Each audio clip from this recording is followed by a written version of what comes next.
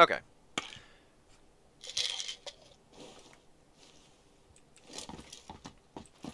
We'll do this. The other way.